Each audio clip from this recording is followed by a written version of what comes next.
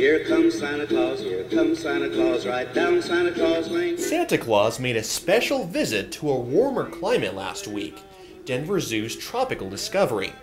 He came to wish all the animals good cheer, starting with Castor, the Komodo dragon, a big softy whose species comes from the islands of Indonesia. A gift for Castor? How about a dish full of fish? Santa also made time for some slower animals, like this black-breasted leaf turtle. What do you want for Christmas, little turtle? Hailing from Asia, they are among the world's smallest turtles, as they only grow to about 4 inches long. And they are fairly endangered, so Denver Zoo and Santa both handle them with special care. So maybe they can last as long as their tropical discovery neighbors, the horseshoe crabs.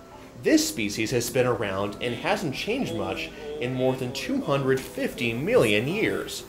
These living fossils live along the east coast of North and Central America.